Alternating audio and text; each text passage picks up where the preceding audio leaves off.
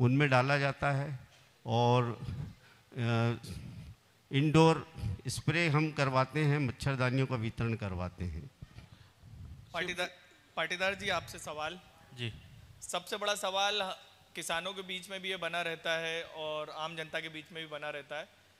बीज की पहचान कैसे हो ये नकली है और ये असली है? देखिए नकली बीज जैसी कोई परिकल्पना होती नहीं है कि ऐसा कोई प्लास्टिक का दाना बना हाँ, दिया है ना? ऐसा कुछ होता नहीं है कि प्लास्टिक का दाना दे दिया और हुआ नहीं। बेसिकली बीज तो वही होता है और बीज को पहचानना ऐसा आँखों से संभव नहीं है कि आप आँखों से देख लेंगे ये अच्छा है हल्का है बुरा है। लेकिन इसके लिए आपको थोड़ा सा जागरूक होना पड़ेगा भाई जितने भी किसान भाई हमारे हैं वैसे तो सभी जागरूक हैं आजकल मतलब निचले तबके से लेके ऊपरे तबके तक सभी आजकल मोबाइल का यूज़ करते हैं किसान के बच्चे यूज़ कर रहे हैं सभी आज अपडेटेड हैं। बट फिर भी अच्छी कंपनियों का अच्छा बीज जो कि अच्छी कंपनियाँ प्रचार प्रसार भी करती हैं और भारत सरकार भी कुछ वैरायटियाँ अच्छी देती हैं बीजों की। सस्ते में उलझ जाता है ना लेकिन हाँ, सस्ते के चक्कर में उलझ जाता है तो उसमें थोड़ा सा ये आप जो कह रहे हैं वो सही है कि यार कम दाम के चक्कर में यदि किसान थोड़ा सा लो क्वालिटी का बीज ले लेता है तो उसको साल भर उसका ख़राब हो जाता है और उसके साथ वो एक कर्ज के जाल में फंस जाता है। तो मेरा तो यही सभी किसानों से और आप सब लोगों से मीडिया वालों से भी अनुरोध है कि ज़्यादा से ज़्यादा जागरूकता इस बात को फैलाए कि अच्छी कंपनियों का अच्छा बीज लें। तो उसको अच्छा उत्पादन उत्पादन प्राप्त होगा अच्छा रेवेन्यू प्राप्त होगा और खुशहाली आएगी।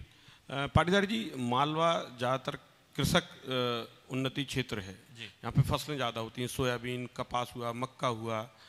इन चीज़ों को लेकर और क्या उन्नति रहे किसानों की उनको अच्छे दाम मिले कौन सी फ़सल वो लगाएँ किस प्रकार के उसमें दवाइयाँ यूज़ करें और कहाँ से वो किस प्रकार का परचेजिंग करें, कब फ़सल की बनी।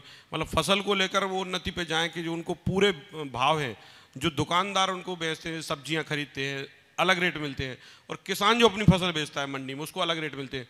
तो कैसे उत्पादन वो बढ़ाए अपना कि उनको, उनकी अच्छी फ़सल हो और वो अच्छे रेट मिले और उन्नत करे किसान। देखिए, वर्तमान में रतलाम जिला वैसे भी सभी प्रकार की सब्जियों के लिए हाइब्रिड खेती के लिए फ़ेमस रहा है। अभी टमाटर मिर्ची का रतलाम गढ़ हुआ करता था, लेकिन चूँकि कुछ वायरस जनित रोग आने लगे हैं तो टमाटर मिर्ची की फ़सल अभी नहीं हो रही है। लेकिन फिर भी जो रतलाम के प्रगतिशील किसान हैं, वो हमेशा अपडेटेड हैं। अभी वो अनार की खेती और जामफल की खेती कर रहे हैं। हाइब्रिड जामफल आता है थाईलैंड का। वी एन आर बोला जाता है उसे जनरली उसको। वो काफ़ी बड़ी मात्रा में लगा हुआ और उससे काफ़ी अच्छी आय किसान लोग जुटा रहे हैं। और रही बात अच्छे दाम के लिए तो उसके लिए एक संतुलित खेती करना होगी। संतुलित खेती में संतुलित खाद, बीज, दवाई और पानी। इसका किसान अपने यहाँ ज्ञान बढ़ाए और वैज्ञानिक तरीके से खेती करेगा तो निश्चित रूप से उसके उत्पादन बढ़ेगा और उसके उत्पाद की क्वालिटी बढ़ेगी। और जो क्वालिटी बढ़ेगी तो उसका दाम उसको 30 से 40 परसेंट बाज़ार में महँगा बिकेगा और उसको अच्छा दाम मिलेगा उसी मेहनत में।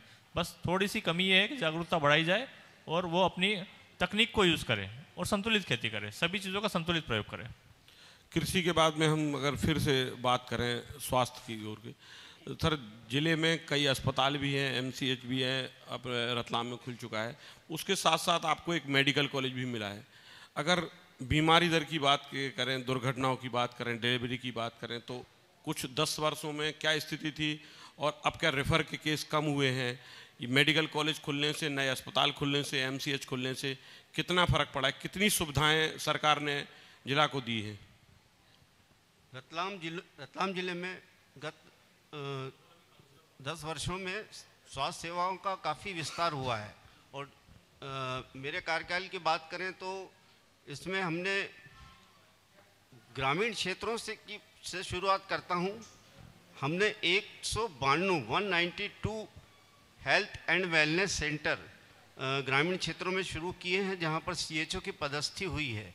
और उनके माध्यम से जो कि बीएससी नर्सिंग क्वालिफाइड रहते हैं सीएचओ एक सौ बानवे सी हमारे ज़िले में पदस्थ हैं और उनके माध्यम से स्वास्थ्य सेवाएँ, खास करके जो गर्भवती महिलाएँ और बच्चे हैं, उनको स्वास्थ्य सुविधाएँ प्रदाय की जा रही है और उसमें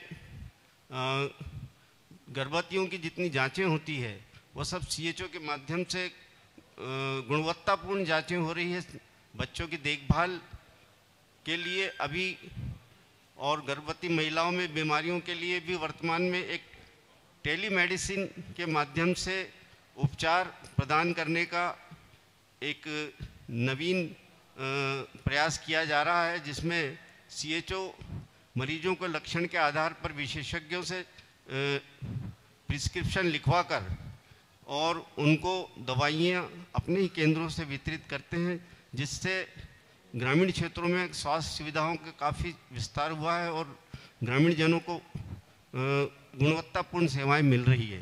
इसके अलावा हमारे दो नए सामुदायिक स्वास्थ्य केंद्र ज़िले में शुरू हुए हैं, जिसमें रिंगनोद और बिरमावल। दो सामुदायिक स्वास्थ्य केंद्रों की स्वीकृति ज़िले में मिली है और इनके भवन निर्माणाधीन हैं।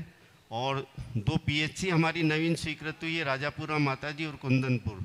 और इसके अलावा करीब फिफ्टी नाइन उप स्वास्थ्य केंद्र नए हमारे अभी निर्माणाधीन हैं।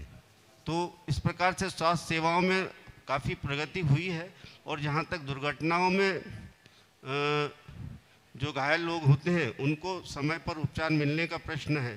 108 सर्विसेज़ के द्वारा यह सुविधाएँ हम प्रदान कर रहे हैं। करीब 39 एंबुलेंस हमारे ज़िले में संचालित है, जो विभिन्न स्वास्थ्य केंद्रों पर और पुलिस थानों पर रखी जाती है और जो तत्काल सूचना मिलने पर मरीजों के परिवहन की व्यवस्था होती है।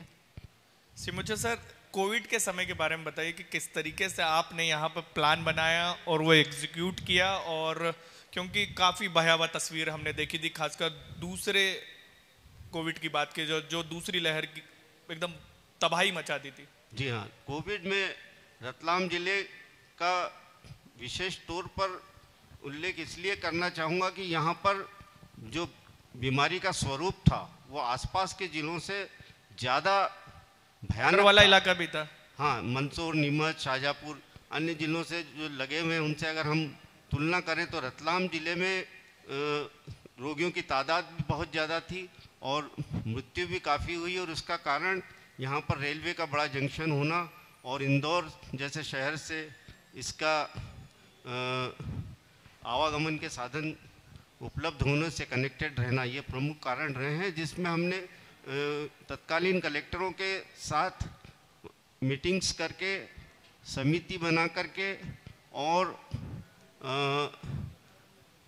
ख़ास करके जो खकार जाँच होती है उसमें हमने काफ़ी अच्छा कार्य किया और खकार जाँच के माध्यम से हम रोगियों को खोजा और उनका उपचार हमने सुनिश्चित किया और बहुत से लोगों को मेडिकल कॉलेज और ज़िला अस्पताल के माध्यम से उपचार देकर उनकी प्राण रक्षा करने में हमने सफलता हासिल की पाटीदार सर?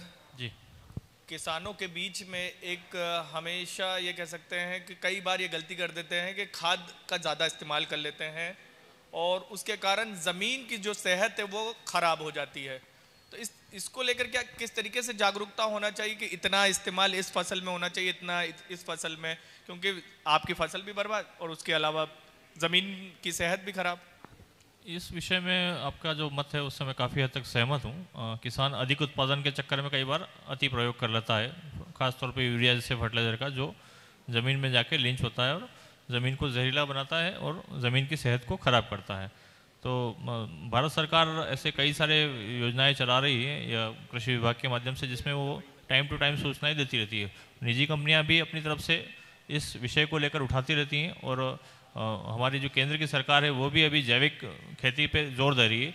तो जहाँ हम जैविक खेती की ओर जाएँगे तो ज़मीन की सेहत ऑटोमेटिक सुधर जाएगी। देसी खाद या देसी खाद जैसे ही केचुआ खाद या उसी तरह की जो भी ऑर्गेनिक खाद का प्रयोग, इसके लिए बहुत महत्वपूर्ण है।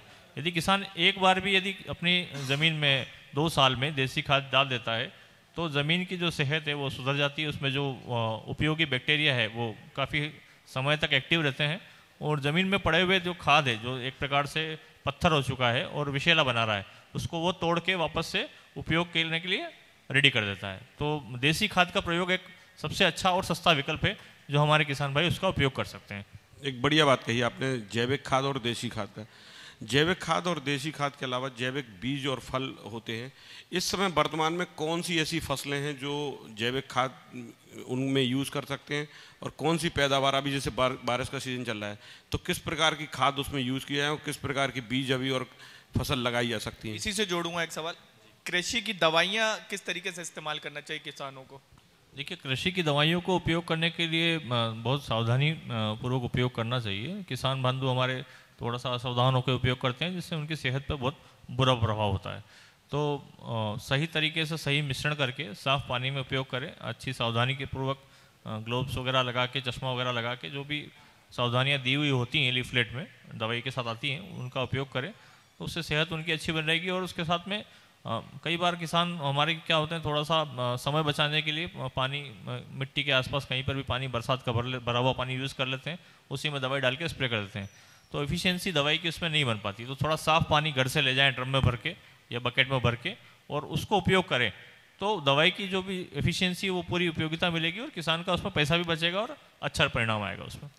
तो C M doctor Prabhakar Nannavari ji और प्रवीण पाटीदार जी हमारे news twenty four Lalwal dot com के कार्यक्रम में आने के लिए आपका धन्यवाद बहुत बहुत धन्यवाद। धन्यवाद आपका भी। Thank you